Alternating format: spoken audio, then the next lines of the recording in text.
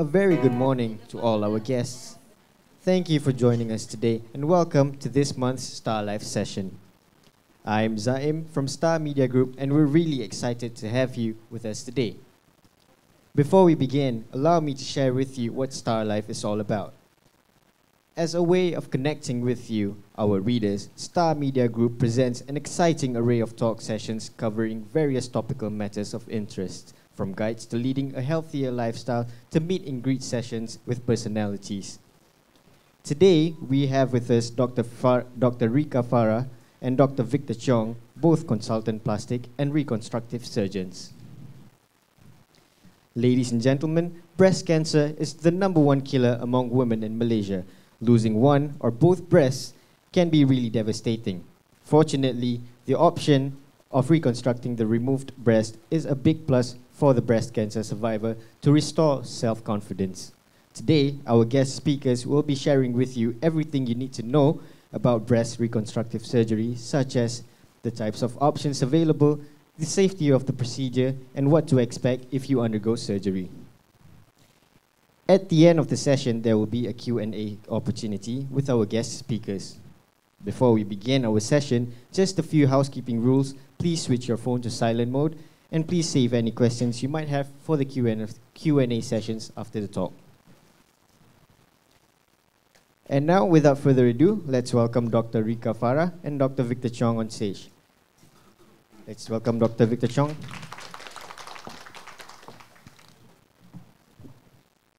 Thank you. Thank you. Hello. Uh, good, good morning. I'm uh, Victor, Victor Cheong, and uh, I, uh, I'm very surprised, uh, you know, when they told me about this meeting, and I was thinking, would an, anyone actually turn up and listen to a talk on a Saturday morning? I say, I'm sure they got better things to do in a long weekend. but anyway, it's wonderful to see people who are interested and uh, wanting to know more about what we actually do. Um, just as a point of introduction, I, uh, I've been a doctor for um, 40 years or more, and uh, I landed back in, uh, onto the shore in Malaysia back in 98. And at that time, there was hardly any reconstruction that was going on for the breast. And I was working in HKL, and I remember the first case of reconstruction was actually with our Director General, uh, Dr. Dato, Dr. Hisham Abdullah. And um, since then, things have progressed quite a bit and moved on and moved on. And I've been partnering Professor Yip Cheng Har for 12 years now. And, and um, things have moved on. When I first started, there were so many ladies who were like, I haven't had this done, and it's all what we call delayed reconstruction. But now, majority of the cases I'm dealing with are called immediate reconstruction. There's a big difference in that in terms of the, the motivation, the psychological positive approach and all this. And we'll talk, hopefully we'll have a chance to maybe answer your questions about these things uh, as our meeting goes on. And um, having the, I won't say too much now, I'm going to introduce you to Dr. Rica Ichihashi, who is uh, my partner in crime with this. And uh, obviously, this is almost like a beauty and a beast thing, and no, no further uh, there, I'll ask Dr. Rica to speak to you first. It's one of his favorite things he likes to say. Good morning, everyone. Um, uh, like Dr. Victor, I'm actually very happy to see uh, that people are interested uh, to learn a little bit more about breast reconstruction, um, especially on this long weekend. So, without further ado, uh, we thought it would be nice um, to just give an overview, a very simple overview, so that everybody's on the same page about breast reconstruction because there's a lot of literature and there's Google Doctor out there. So we'll just go over some basic principles. Okay, so what is breast reconstruction? And it's a very simple thing. Um, if your breast, if the breast needs to be removed as a result of a disease, most more often than not, it's cancer or maybe certain types of tumor. uh, your breast surgeon or your surgeon decides that the breast needs to be removed, breast reconstruction is simply the art or the surgery of remaking that breast mound. So that shape, to remake that shape. It's not to make that breast more beautiful, but to give you back the shape of the original breast that you have as much as possible, right? So um, I thought this would be, oh, sorry. Okay, so for those of you who haven't seen, uh, the picture on the left is a mastectomy scar. So you can see that it's flat, right? It's flat, the whole breast mound has been removed. And if you can imagine, the skin uh, that made this shape has also been removed. Okay, so this diagram shows it that in the event that your, the nipple has to be removed, the skin also will be removed, and the surgeon goes underneath this breast skin here to take out the breast tissue. And so this wound is stitched back together, and you end up with a line like this. Okay, sometimes it's more diagonal, of course, but then it's, a, it's basically a flat chest there. Okay? So when, when can breast reconstruction be done? So we're talking about the timing, timing of it. Um, it can be done at the same time when the breast is being removed, in which case we refer to it as immediate or primary, okay? Or it can be done months or years after the breast surgery, in which case we, we say it's delayed or secondary, right? So um, we go to the next. So the question is immediate or delayed, and what are the differences? Okay. So we start with the top here, right? The decision.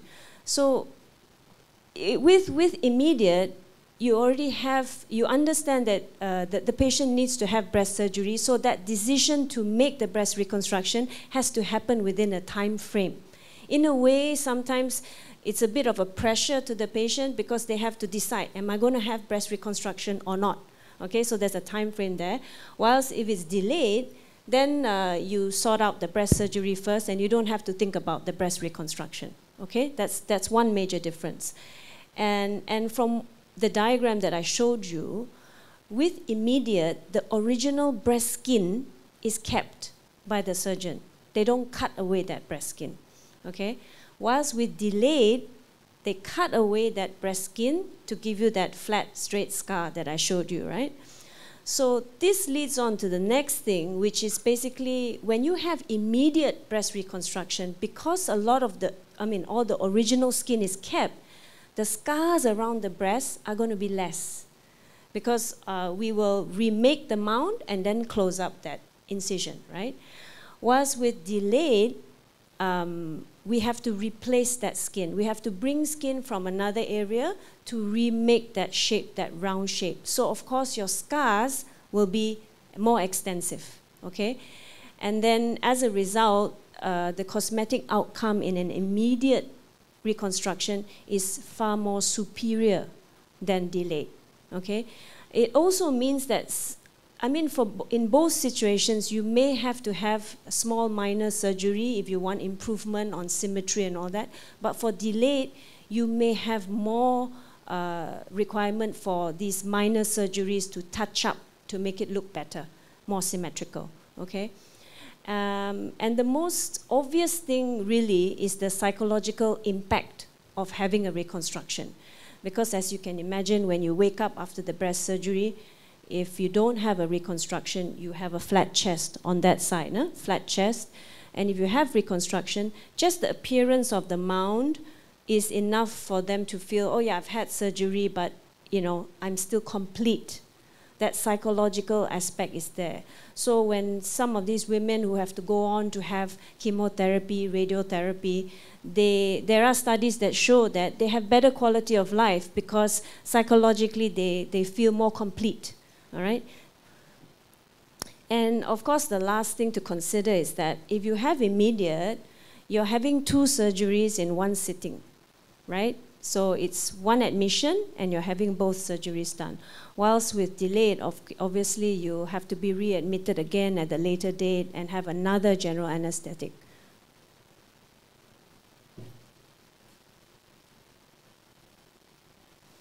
Okay, so we go into some sort of the technical parts. What, how is the new breast mound made? So the types of reconstruction. So the first major group, in, it's the group that uh, we in our practice prefer, is your own tissue. I always say because your own tissue has a lifetime warranty. Yeah? It, it basically lasts and, and behaves like you. So with your own tissue, we're talking about fat, muscle, and skin, which we call, medically, we say, we refer to it as a flap. Okay, flap. So this collection of tissue has its own blood supply. It's like a sandwich. You got your skin here, your fat, and your muscle. And why is the muscle important? Is because it's the muscle is the one that has that carries the blood supply. So obviously you imagine if you cut a piece of tissue somewhere on your body and you try and bring it somewhere somewhere else, it won't survive unless it has its own blood supply. The reason why we can do this with a flap is because the blood supply is there, you know, nourishing that tissue there. So then we go on a little bit further. When the blood supply, the blood vessels are kept connected, that means we cut around the tissue, but we leave the blood vessel and the arteries and veins connected. We call this a pedicled flap. We don't disturb the original blood vessel, the blood supply. Okay, so for example here, and I'll talk about the different types. This is a piece of tissue, the flap that we cut from the tummy. We just cut the flap, but the blood vessel, which is here, is still connected, and then we move this flap to the breast area. So it's still connected. This is pedicle, okay?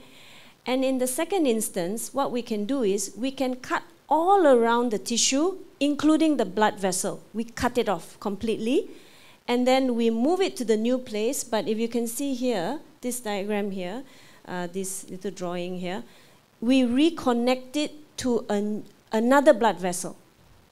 And that is uh, that technique we use is microsurgery. So we have to get a microscope in, use very fine sutures, and reconnect the vessels. So obviously you can imagine these vessels are, are really tiny.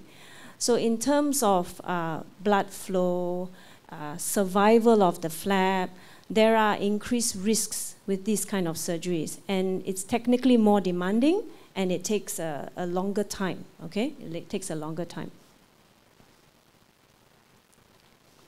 So there are many flaps in our body, so many.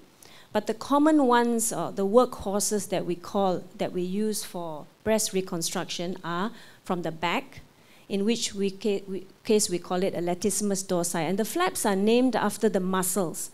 So latissimus dorsi, and I didn't put that, but LD flap, or from the tummy is the transverse rectus abdominis or the TRAM flap. So these are the two main flaps.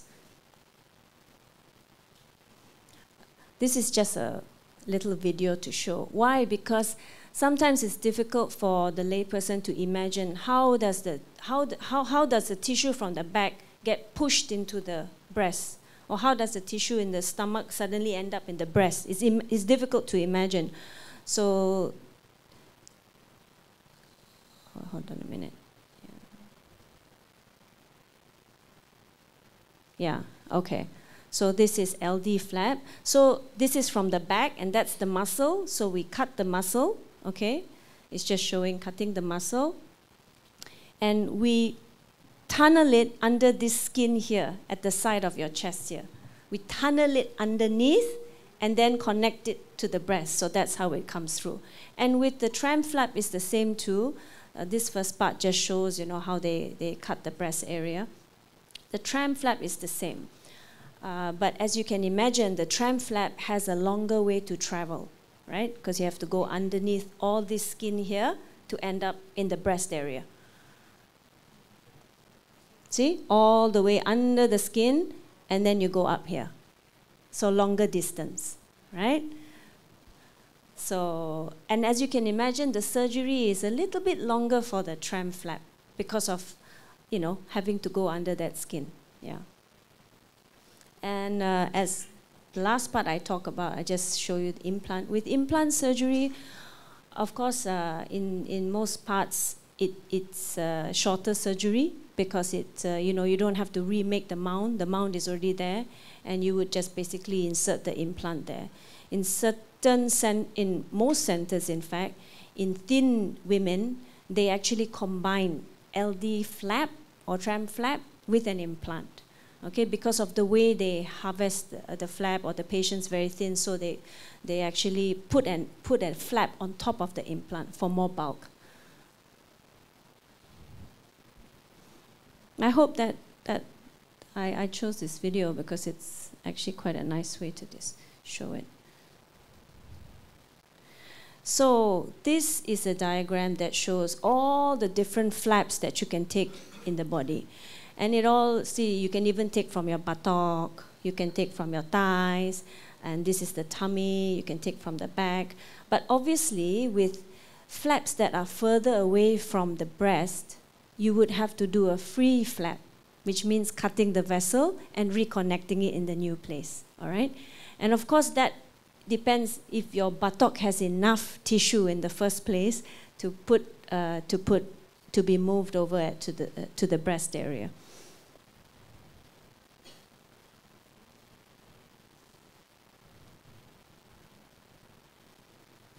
Okay. I have to mention implants, although in uh, our practice we it tends to be the second choice or third choice rather.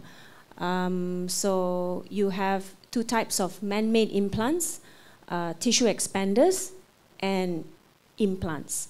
So with tissue expanders, um, basically what it is is that in delayed reconstruction, you put these uh, like balloons underneath the skin and then over time, you see this syringe here, we actually have a little tube, and so we inject fluid or saline, or salt water, into the implant to slowly stretch the skin over weeks. Stretch, stretch, stretch until it reaches the shape or the volume that we want.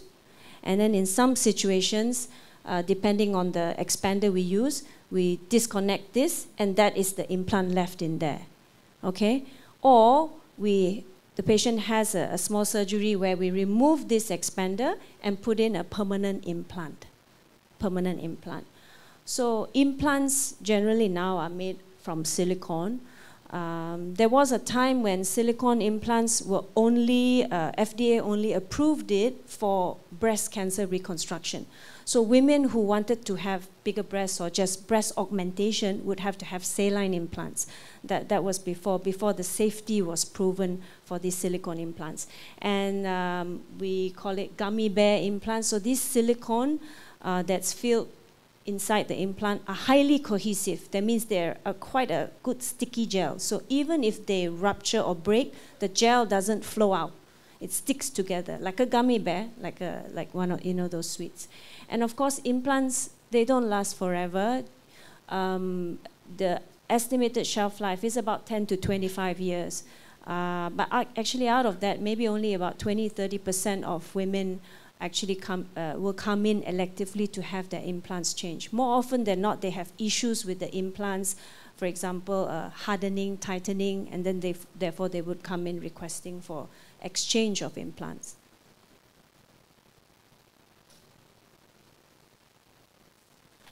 And the last one actually is the innovation that uh, uh, uh, we have, uh, thanks to Dr. Victor in our practice, is fat. So um, I show you a close up. So fat, fat, uh, we use the principles of harvesting fat from obviously like the cosmetic side of our practice in liposuction uh, we can suck this fat out and we process it. Yeah, here all this, the nasi lemak, roti canai. we have the fat here. We process it. We you know cleanse it in a purified form, and we can use this fat um, to inject it into the flap. So, for example, uh, some women maybe the, the, the fat at the back is not quite thick enough to remake the mound we can inject it into that flap to bulk up the flap. and we can tailor how we inject the flap to shape the flap as well. So this is, um, you know, this basically has really helped us because we hardly use implants in breast reconstruction. We, we prefer to use patients' own tissue. And patients themselves also, especially those who have had cancer, cancer, they rather not have synthetic uh, implants. Okay, so without further ado, I pass over to my senior colleague, Dr. Victor, to continue on. Thank you, Rica. Uh, I'm better with a knife than with a mouse or a laptop, so Dr. Rica is going to help me with this part of it. I will have to stand here so we can um, look at this part of it. Um, Dr. Rica has, in a very brief uh, way, shown you in very detail all the possibilities. And I'm sure many of you would be like, how do you make your decisions? How do you decide which one to do? Do you just throw a dart and hit something and say, okay, we'll do this today? And there's certain, when I came back here, obviously being trained in everything microvascular and distant flaps and free flaps, then you have to make a decision. How are you going to tackle this? Before I came back, I was working in Hong Kong with a Chinese university, and that was the first time I noticed, as opposed to in UK, where I spent 20 years of my life there, and I found that people there, they're obviously the breasts are bigger, a lot bigger often, and you the demands for reconstruction is different, and you're bringing in bigger volume of tissue in order to make that symmetrical breast. But and then in Hong Kong, you start seeing, you know, really flat-chested women, and they are like uh, bra cup A and here we, some of them tell me, doctor, I'm not A, I'm KLIA. So it means that it's very flat, it's very small. And this influences all the ideas, you know, even if you see a breast surgeon and they say, oh, this one we can do a lumpectomy. But a lumpectomy, when you cut the tumor out and you cut the surrounding safe margin, for many women who are flat chested, it's almost like a mastectomy because there's no more tissue there. So then it comes to a different concept about surgery and about reconstruction for me, achieving symmetry. Then the woman say, Doctor, don't persuade me to make the other side bigger. I don't want. I just want to reconstruct. And these sort of things as I listen to the patients. And I'd say one thing is this. I, my principle in terms of decision making as a doctor and guiding the patients is I must use the same approach as I would guide a good friend or my sister or my wife even or my mother when it comes to reconstruction. It should be the same. And one of the leading points about this is what is important? Actually, the most important is to say reconstruction is not important. Professor Yip, who works with me, her work is important. Clear your cancer. And for me, my part should be smaller. That means uh, it should not be a you go for a mastectomy an hour and a half, and then suddenly I say another eight hours to make the reconstruction, and you're very ill and you're in ICU and all this. And no, it should be quick. It should be smaller than the mastectomy, and that was my concept. Why? Not just to rush and be quick, to allow very low morbidity. That means recovery must be fast. Why? Your wound healing, everything is very important. You need to go for the next step, your chemotherapy, your radiotherapy. So it's very important I don't affect the, anything that result in a delay in your subsequent adjuvant treatment. That is important. You must be fit and ready for the next step because it's all about saving lives, prolonging lives, eradication of even some small little microscopic deposit of cancer cells in other areas, and not as reconstructive surgeons I always say we must not become so obsessed about what we do that we end up saying, oh, this one uh, will take you 12 hours, but I will make the best Mercedes-Benz or Rolls-Royce for you. I say, hey, never mind, I'll offer you a, uh, maybe call it a, a Camry, lah, okay? So at least it's reliable, it's consistent, it may not be the best. And I feel that is more important. Um, you will see at the top it talks about symmetry, talk about all that. Uh, we can bypass that, and then maybe even in uh, you know in in our later F&Q and all that we can talk. But the main thing I want to talk about is the sex and intimacy. When I came back, I met many women, and remember I told you they're delayed. Now, they always give me a story, and they said, you know, at one time, I don't see that and so often now, but there was a time when I came back, women who come to see me with a man and they've got breast cancer. The man, or you know, I don't know, maybe it's our Malaysian or maybe Asian or Chinese men uh, who are very nice in the sense that they want to say what they feel they should be saying.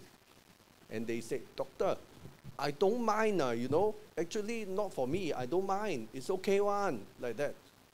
And, and some even go to an extent say to the woman in front of, I don't understand her, why so vain? That, that I'm, I'm very happy that don't happen anymore. I'm afraid, uh, I'm happy that men now seems to have progressed on from there. But through that, if the woman makes a decision and say don't need a mastectomy, the psychological side, I can almost dictate to you what will happen. The woman will recover from the mastectomy with a flat chest. This side has got a breast with a nipple. This side has got a flat with a scar. The woman will not look at herself anymore in the mirror. The woman will not touch this area because the sensation is abnormal anyway. But they also feel very afraid of this. They will shower without ever standing in front of a mirror. They very quickly dry up, put their clothes on, then they go out. Which means they will not let anyone near. They will change even their sexual behavior. They told me they want all the lights off. And they can't stand touching that. And after five years, the number that comes back to me and say, my husband found another one in divorce. I want to make a new breast. It is very sad. And the change, as I say, is so dramatic, so pronounced when Professor Yip and I started doing what we call skin sparing, immediate reconstruction. The and then I say, I'm going to top it up by making you a nipple at the same sitting. So they get up and they say, oh, I still have a breast. And that positive uh, is so good for cancer treatment, like what Dr. Rica is saying, research has shown it improves not only lifestyle, I believe it improves their cancer treatment because the positive of the mind is so important. Now, um, that's how I was talking about how we decide. So on top of that, you look at you know the risk of the patients and all that. But one of the interesting one or two, uh, I had to just do fat and don't even do a flat. Why? They are like seven days a week huh, yoga teachers. And I say, I don't even want to ex- you know, expand anything of your muscle. You keep all your muscles and patiently using some fat to help them to get there. But I find that maybe I find my work here is easier than the work of my colleagues in America and UK. Why? Smaller breasts. And often, uh, even if you create a nipple for them, they're already very happy. Just a little bit of fullness and a, and a nipple, they are very happy. And as Dr. Rica said, the both of us, we are averse to the use of implants as much as possible. And I firmly believe it's not something that I want to encourage my own friend or family members to say, oh, just put an implant in. It's not as simple as that. There are lots of complications. The results are not so good. And often you hide it, put a bra on, you say, oh, it's not bad. But when you lift your arm up, this, this lift that doesn't move, and then this, the actual you know shape and everything will, will change as well as it's not so symmetrical. And some may end up encouraging people to put two in. And I feel that's not the objective of reconstruction. Okay? All right. Okay, there are some cases, uh, maybe we go to the next one. It's okay. No photos, please. Huh? No, no. Can you put the camera down? I'm sorry. No photos because you got to respect that this could be you even. So no photos. Now, the yeah. Go back to uh, the second one that you do. Ah, okay. Ah, okay. So you can see on the on on the right here. Well, on your left. Uh, Um, you can see that the left breast has been uh, reconstructed. The right, the, I mean, the patient's right breast has been reconstructed, um, and you can see the swelling, the, the nipple. Now that nipple is made.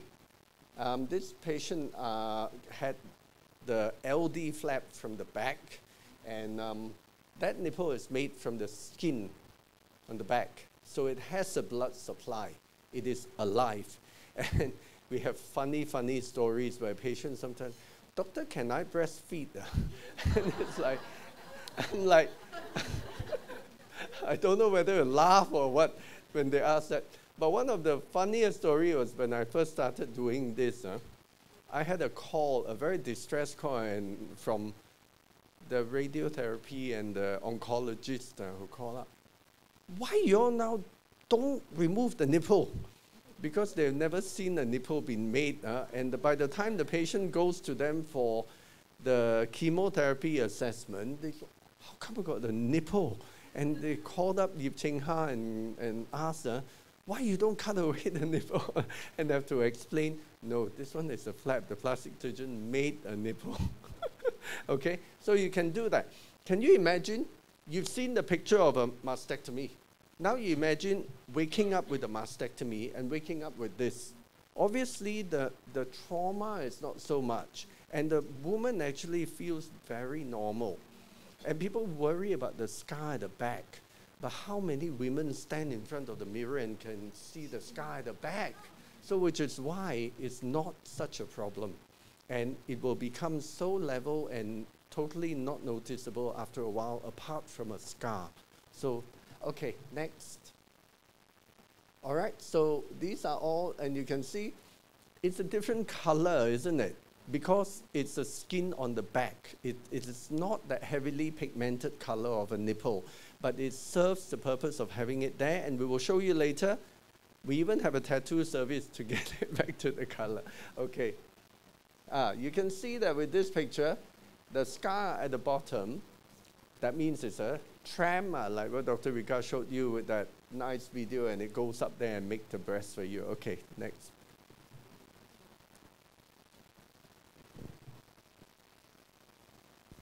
Okay, so this on the right you will see that is a form of delayed. That's what we mean. With a delay, we have to open up the scar again. We have to put more tissue in, but we also need the skin in order to get you the shape and that, that's an example of the delay. And um, it's wonderful. I mean, to see that happening, and, and the lady, a young lady who after that even went on to have another child, and I see her sometimes in Facebook, and she's so fashionable and everything. It gives me that sense uh, of satisfaction. And I find that the most positive thing of all, not that I encourage them, but when they've had all this done, they had the chemotherapy, radiotherapy, they come back maybe a year or two later and say, Doctor, my eyes are droopy, I want to make them nicer. And that to me, I celebrate it. Why? They have that gist to live for life, you know? And I support them when they say that. And, and it's wonderful to see it in them. Okay, um, where do we go now? Okay, so that's roughly what I do in order to make a nipple. But this one is a TRAM flap that's put up there, and this is a delayed way of making a nipple. But roughly it's more or less the same when we do it now, an immediate way of making the nipple. This was a case I did with Hisham Abdullah. you can imagine how long ago. There's a doctor here, and the doctor will remember A&E uh, had an operating theater, and this was where we performed our first case. Okay, now this is what we we do with nipple now. For many years, because I also published some research papers about nipple tattooing and color matching, all that. But recently, I found a German-trained, uh, obsessed person, a beautician, who is really trained to do what is called 3D nipple tattooing. Obviously, she runs a business to do, you know, nowadays I don't know why people want pink nipple lah and this and that. So she does that. as a living. But then she came to me and said she offered this service for free. So then I said, okay, then you come and do it in my place. I'll offer my clinic free to you, and we'll arrange the patients. You come and do it's all free for everybody, you know. And she is very passionate to do this 3D nipple tattooing. Okay, and she would spend a lot of time, uh, two hours or more, you know, to make a nipple, to balance, to make it look like a nipple. And this, uh, she made this without me having made a nipple. And she managed to do this. This is actually 2D, but it looks like 3D. And she's like so excited to see, oh, you made a nipple, and now she can make it even better. And she comes up once a month from Johor with her husband, and then she will do this for me. Okay. Thank you. Yeah, I think. Ah, this um another case, and this is say delayed for how many years before she came to me? Uh, when I started my practice here, 16 years without a breast. Can you imagine? She has such a big breast on that side, and she's been walking around with a flat. Obviously, then it affects in terms of you know marital life and her own self. It's really nice to see that after having done this, her life blossomed. She's like, I joined this, I'm doing this, I'm doing that. It's, um, you know, I, I'm happy to say that we don't get this very seldom. I think I had one case last year, but very seldom where people come with a spouse and the spouse like, I don't need it. I don't understand why she wants to have this and all these things. Uh, uh, but people don't. As I say, it becomes easier as I design my options and surgery to be very short, to be very simple. And all I tell them is, do not think that the reconstruction will delay your discharge from hospital. It is the same as a mastectomy. Do not think I will take a long time. Professor Yip Cheng Har will take just over an hour. Just give me another hour. And we're finished. And that's it. And for a lifetime, I think it's worth it. Okay.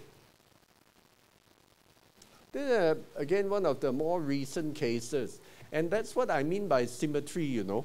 I always tell them, I'm not here to make you beautiful breasts. If you got big, you got droopy breasts, I make you droopy breasts. And I say it's a failure on my part as a plastic surgeon to say, oh, I can't make you a droopy breast, and so I got to operate on the other side to make that smaller and higher. Then to me, that is cheating. to me, as a reconstructive surgeon, I take the challenge to say, if you got big droopy breasts, I make you a big droopy breast. Okay? And that's the way I function. Symmetry, symmetry, and not more than that. Okay. So obviously, we cannot leave this topic without at least mentioning all the possible complications. Now, those uh, at the top would be to do with um, lots of it happens as surgery and as for us based on our skill, uh, experience, what we do, and how to make sure that doesn't happen. The one that you have to think of uh, is poor or interrupted blood supply. So basically, when we lift the flap off the body, it is connected to the body by one artery and one vein.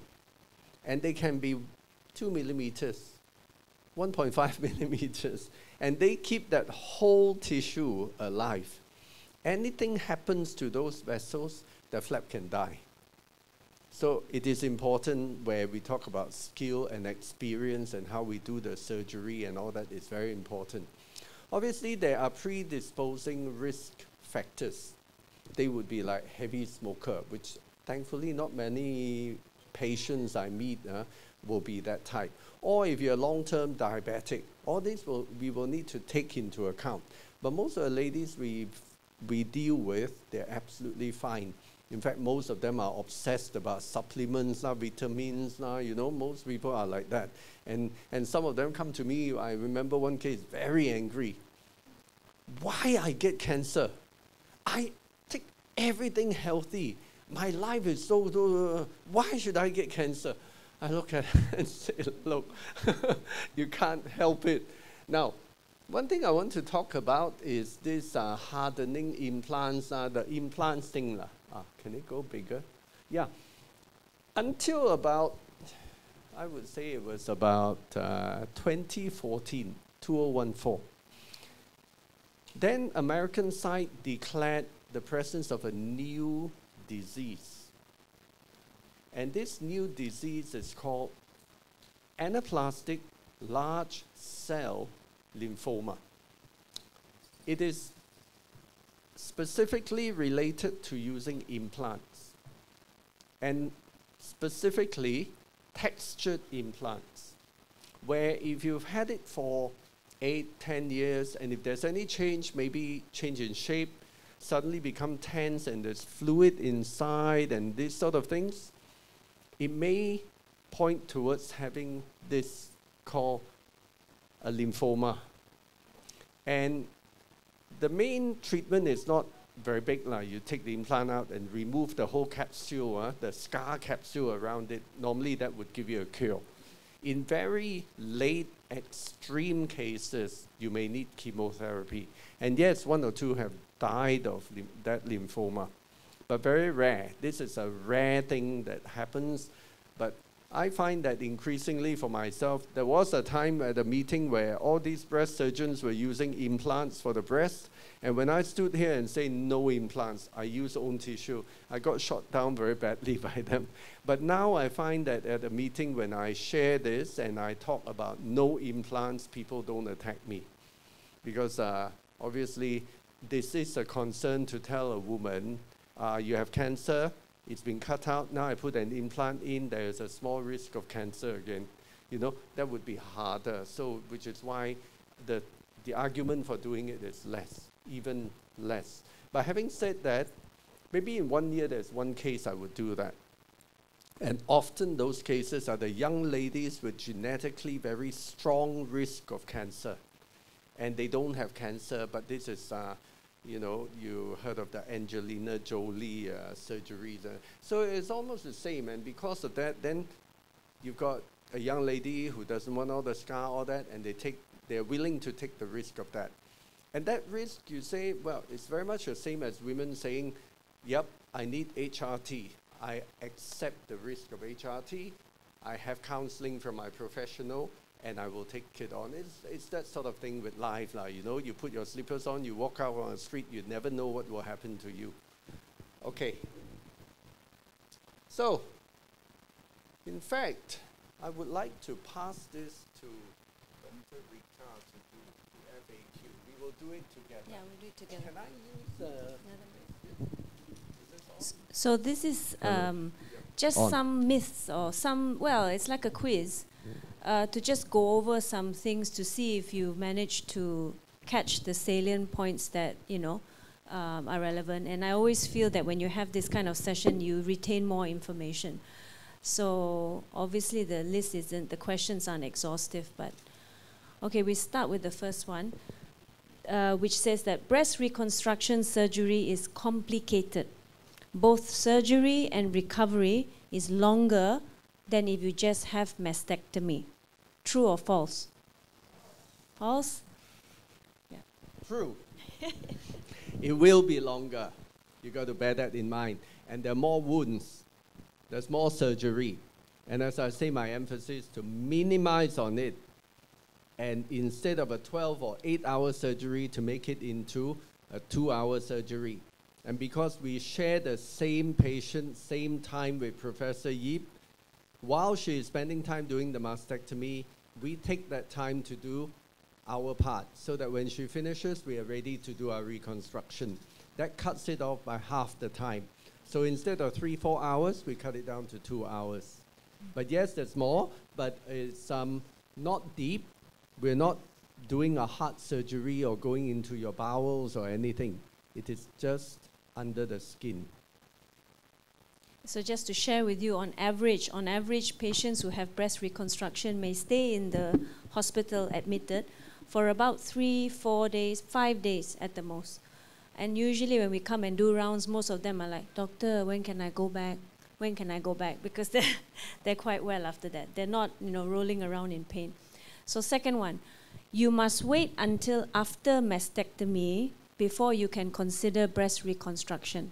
True or false? Yeah. Yeah, false now, but used to be true where you go to a breast surgeon, everyone will say, wait. Yeah. You do the mastectomy first. Then, if you're free of disease after one year, or some will say two years, then I will send you to a plastic surgeon. Yeah? Change now because of skin sparing, immediate reconstruction. Okay, hold on. Uh, third, implants are the only option for breast reconstruction. True or false? Ah, you're very attentive. yeah, huh? very good. oh, wait, hold on. It goes wait. Breast reconstruction is not an option for women who need to have radiotherapy and chemotherapy. True or false? True and false, yeah. Um, in the sense that, again, it goes down to later part about staging. huh? So there, if um, we are dealing with a woman who sometimes, you know, in this region it's very funny. You have people who will go for qigong first. You see, it's often like this. The, men- the psychology is that when you're diagnosed with a cancer, it's a very traumatic thing. And you try and deal with it in some other way, and you say, and you know how it is here the multi-level marketing and there will be women who have friends, uh, friend, do this first. You know, you see a, a breast surgeon, the breast surgeon will tell you, you have to do this, you have to do that, you have to have the surgery, then you have to have this. And, and then you go home, you start, your, your friends, uh, it could be anyone, and it could come to you, are you sure or not?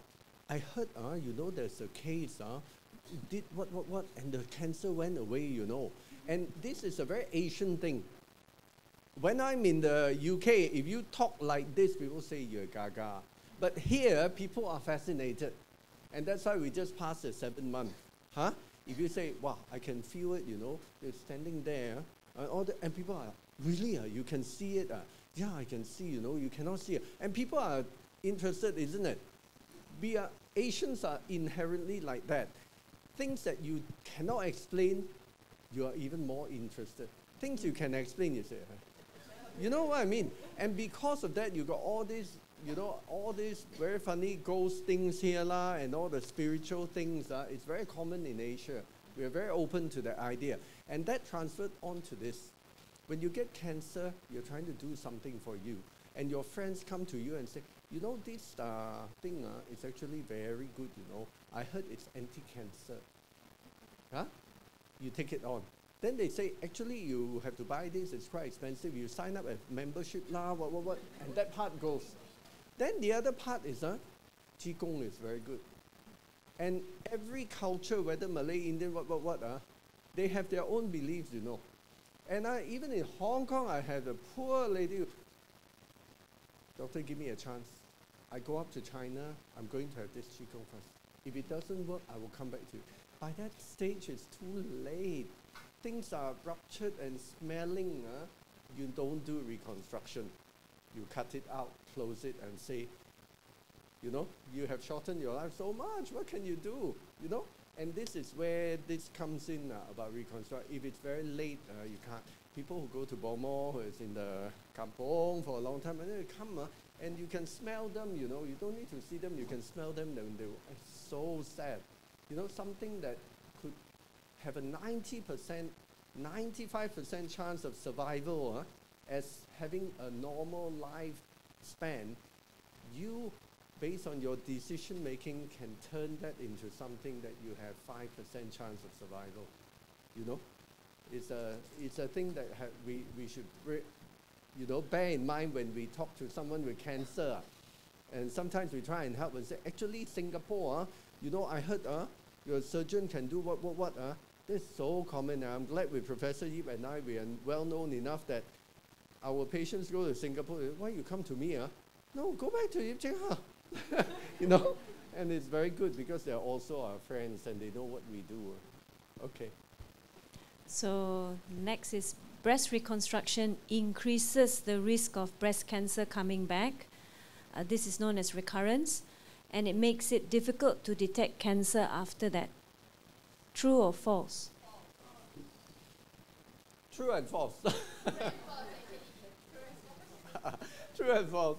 Um, it doesn't increase the risk of cancer. La. But, you know, people will be afraid of it and say they cannot feel it, you know. But you know, now most of the time you do a baseline scan uh, with a PET scan or a CT scan, and you would still go back for your mammogram. So that, that is the better monitoring.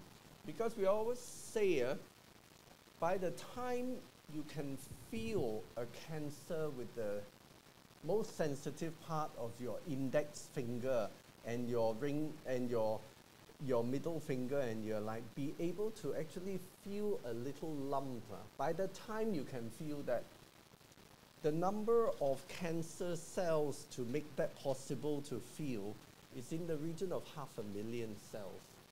Now bear in mind one turns to two, two to four, four to eight and so on. uh, it would be almost half a million cells or more before you what we call palpable lump. uh. So that is already very big. uh. So you're, we are trying to catch it a lot earlier. So actually, it's evidence based. You, you know, there are studies that show that it, it, it doesn't affect the risk of breast cancer coming back, and um, screening is not affected at all. It, it's proven so. Um, so next is only women between the ages of 21 to 45 may have breast reconstruction. Okay, those above 45 cannot. True or false? False. Uh, 46 you can still get. What, what's the oldest that uh, oldest, patient is, we've uh, had? almost 70. Yeah, 70 plus. Yeah. But very fit Mm. and full of life. No. Yeah, 70. 70. And you know what?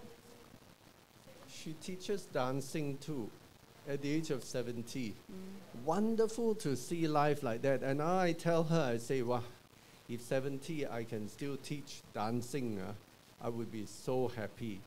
Full of life, flying about and doing things. That's the way it should be. lah. Really, that should be. And I will never compromise uh, or, or say cannot do unless their health does not allow them to do. If they're otherwise fit, uh, mm, we always say age is a number. Oh, and finally, reconstructed breasts look unnatural or artificial. True or false? but can uh, can be unnatural, Yeah, and that's why we always yeah. push and push to try and do things that will give you the best possible result. Okay. Okay. We're done. Thank you very much for your kind attention.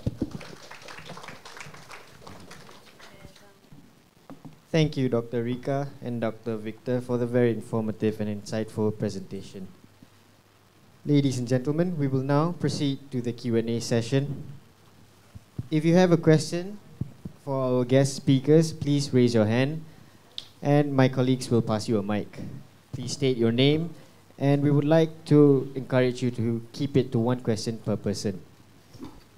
I would like to know more about the nipple sparing mean they're keeping the nipples natural nipples. ah. Yes. Uh,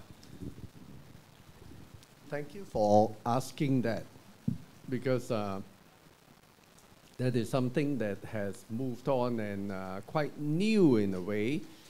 But you see, um, we are reconstructive surgeons. Then you have the other few who are the cancer surgeons.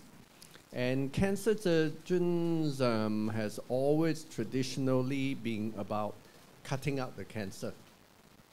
Um, but there has been a move in a different way with uh, breast cancer surgeons. They have become a, a specialty of their own. And they, ha- they now are trained in a program and they come out with the um, qualification of being oncoplastic surgeons. That means the idea is that they cut the cancer out and they will at the same time reconstruct the breast. Now, I'm an old man and an old surgeon, and we always work on the basis when we work with cancer surgeons. Our pre-operative discussion is always, uh, you cut it out. You don't worry about what I do. You make as big a hole as you feel you need to for the cancer. After you've done that, I will come in, I'll fill up your hole. And that was the principle. But as with this program that in a way they have developed and grow and train, they seem to have an emphasis on reconstruction.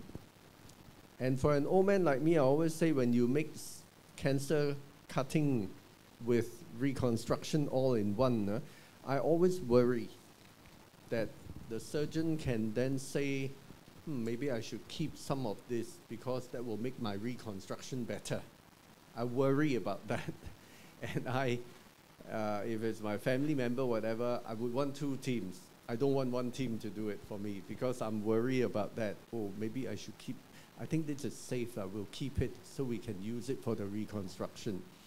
And the principle of it started with um, at one time uh, for breast cancer surgery, the history, when you talk about old old time Patey and Halsted, uh, those names means uh, they said the cancer is here, cut it out. How deep to, should we go? The first ones, uh, you cut out the ribs, you know. Then they say, no, don't need them.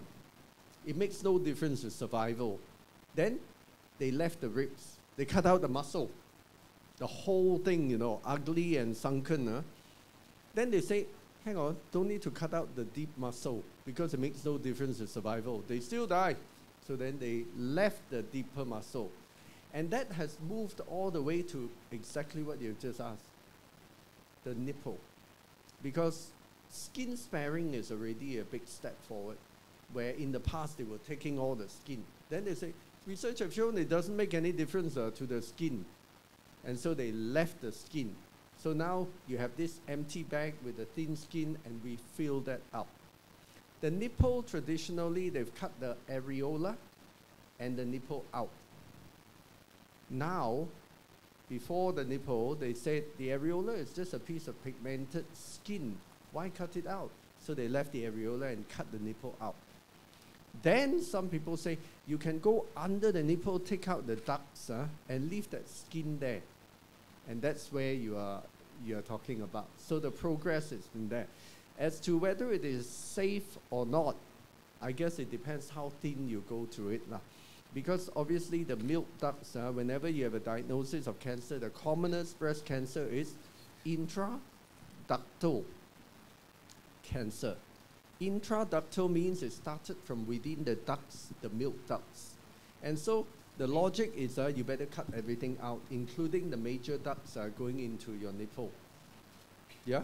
So that would be the safest. And I still get requests. Women will be like, oh, they counsel, no, I don't want you cut the nipple out. For me, it's not a problem. In fact, I would, for my family members, I will always say cut the nipple out. Because I can make a new nipple very easily. Not everyone can do that. And that's where this idea, but actually, to be honest, after you cut all the tissue out, the little thin bit of nipple skin, uh, first, many of them turn black and die. This is where I worry where surgeons say, oh, if I make it too thin, uh, it will die, you know. And you start leaving it thicker. But you're dealing with cancer. And this is where the conflict is. Okay? And this is where, for me personally, and, and Dr. Yip Cheng Har always say, you're old man, uh, you're old fashioned. Uh, but I'm like that. And I would say, cut it out. So Dr. Yip Cheng Har has a standard to it. If the cancer is very near to the nipple, within two centimeters, she said, cut the nipple out. But I know that research, there are many people who are like saying it's still safe. I always like to ask them at conference, is it safe for your wife? Is it safe for your mother? I always like to ask that. I'm very bad.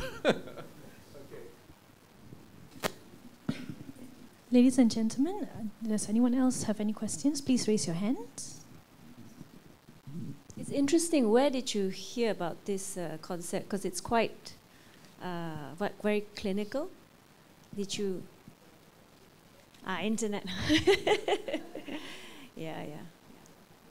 The main thing to bear is that the practice that we have, we uh, have two teams who do surgery on the same patient at the same time.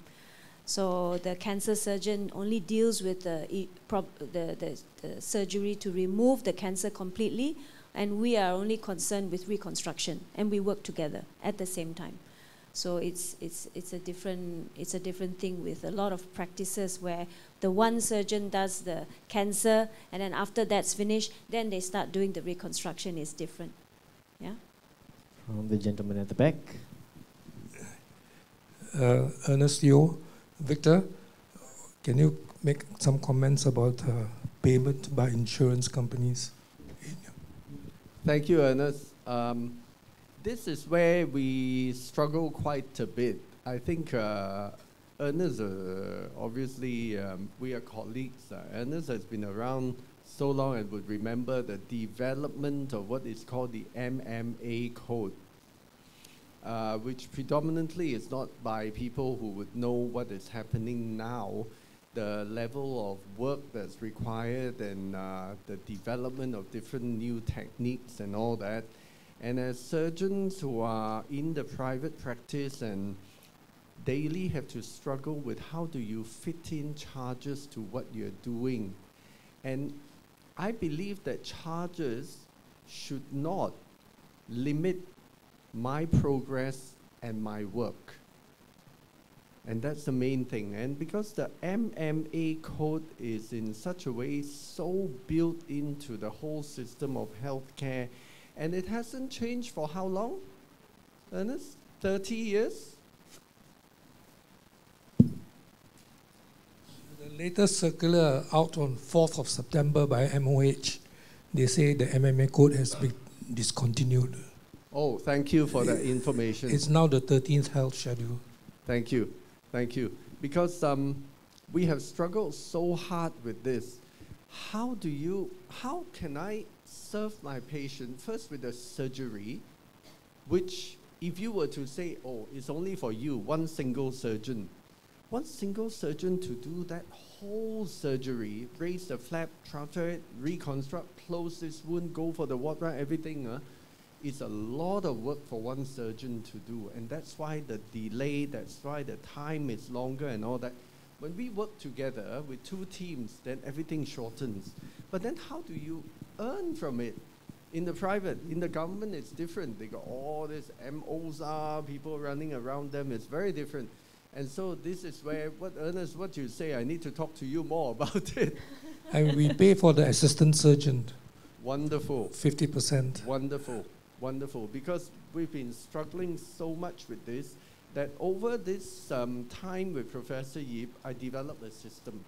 I talk to the patient and explain to them and say, look, first, you know, insurance um, has been an issue when it comes to reconstruction. And we are still at this stage, we're still pushing for reconstruction to be part of that critical illness payment, if you like. But until we get there, this is still a thing that the patient has to pay for. And what I say is that you got to pay for Dr. Rica, you got to pay for me, and we want to do a package because the problem is it cannot be that every time you come and see me at the clinic, I charge you again. It cannot be that when you have a little wound breakdown, I charge you for material. I, I find that it doesn't work. And so I talk to them about a package. You pay me a package, and that covers for everything. And that covers you even two years later. If there's any, oh, your flap, your shape now a little bit out, uh, maybe, oh, the fat has died off and there's a little bit of, and I have to top it up. And everything I say is covered free of charge the moment you, any wound dressing, anything, uh, how, no matter how many times, you, and they keep coming. It's very fun. And they'll keep coming. Doctor, I feel a new pain. Of course, because all the nerves are cut away after mastectomy. Eh, they will wake up every week with a new sensation, you know, new pain lah, new funny feeling lah, tightness lah, and they'll come for reassurance. And you know, anyone with a diagnosis of a breast cancer or any cancer will go through at least uh, two years of what I call cancer phobia. And we become a support system quite happily. Support. So on one point it's like a service. On the other part uh, is really to to uh, make it a viable practice in the private side. And that's how I work on it now. And it's wonderful and encouraging to hear from you, Ernest, that uh, we are moving on in that way because obviously, you know, I think uh, it's, it's so encouraging to hear that that, that is official because I believe that that MMA has caused many doctors to compromise and become dishonest with how they try and claim because they can't earn from it. And they start having to think of way, how can I maybe put this in, put that in? And I wish that not to be there so that everyone can be honorable and responsible in how they charge. And you've got to understand the doctor's charge is not the main charge, huh? but when it comes to a total bill.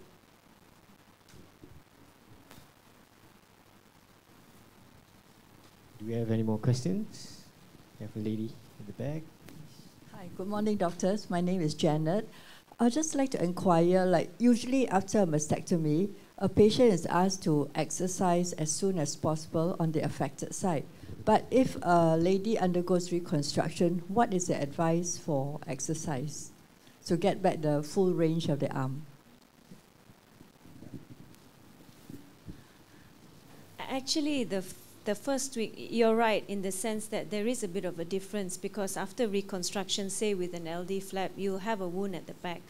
Uh, but to be honest, the first few days or the first few weeks or week of after surgery, in the ward, uh, most women are doing their normal activities, moving around. So these kind of normal, natural movements are, are fine. They can actually do it. Uh, it's what we usually caution them against is particularly for women who are just very active you know they can't wait to get back home and start doing this and that. It's mostly extreme activities like you know this stretching that kind of thing which they may find a little bit limiting in the initial period but rest assured by about three weeks or so or one month they're already pretty much back to normal. Some within two weeks already are actually doing passive exercises it's more of concern when you do axillary surgery, so the lymph node surgery there. We don't want a con- uh, contraction of the scar and all that. And also, when they require radiotherapy, you will need they need to actually lift their arm here for the radiotherapy to get to that areas. So that we're talking about six weeks time. Uh, so most are back to normal activities. Uh, obviously, in the first week, we don't really want them to start doing all this and gym activities. But yeah, definitely you're right. There is a bit of a difference. I tend to caution them, yeah. Many of them, after a, a flap from the back, an LD flap, they uh, a month later they they are actually driving. And I always say, they will say, "Can I drive, doctor?" I say, "Well, wait till you are pain free, because I don't think insurance will cover." In the event of an accident, emergency, and you are this, you are in a way inhibited in your reflex uh, because of pain. So once you're pain free, you can start driving. And most, uh, I've had people who goes back to the gym after a month and they are doing all their work. Huh? It's a common question because sometimes during the initial consult, they'll say, Doctor, how long will I take to recover? It's such a broad question. Because what do you mean by recover? Skin recover, wound recover, you recover? Um, I mean, just to share, like uh, they will be coming back at one week to get a wound check. Some stitches need to be taken out. By two weeks, the stitches are taken out.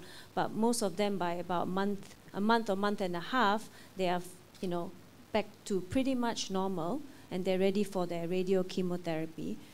But I have, I ask, I, I speak to my patients and I ask them, a lot of them say that it takes really two years before they completely, how do you say, they can have a day where they will wake up in the morning, have a shower, and actually forget that they've had cancer, that they have cancer, and they've had reconstruction.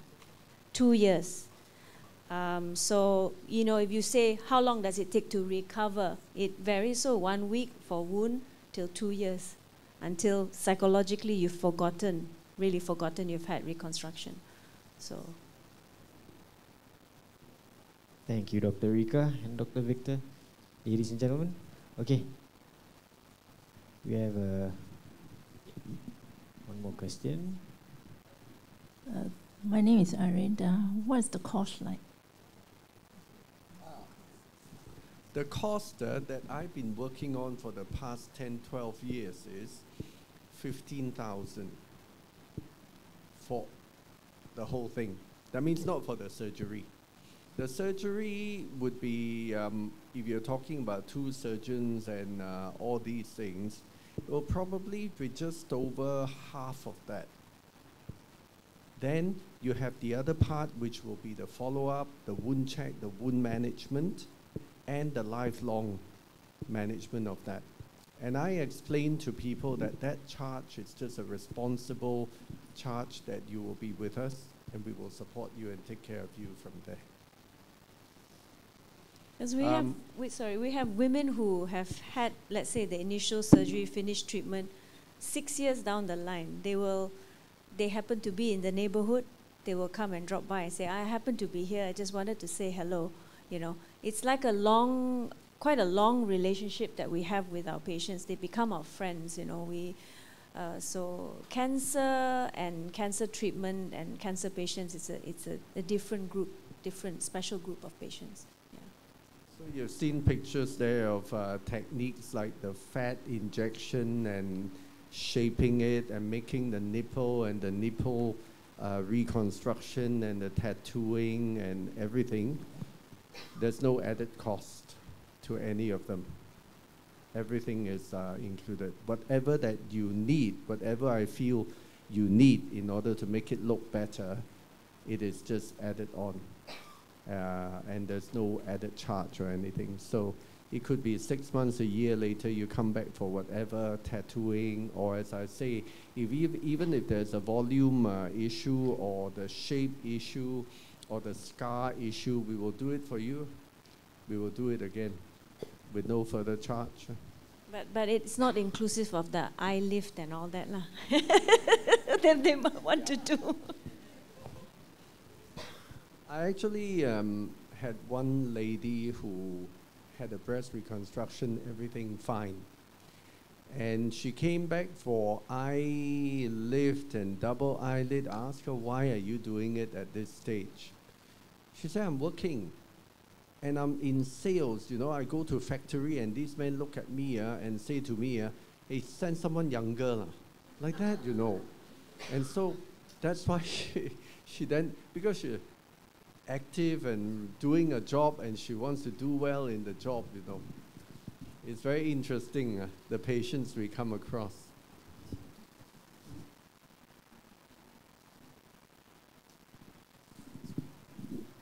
Very well. Hope hope that answers your question. Moving on, do we have any other questions?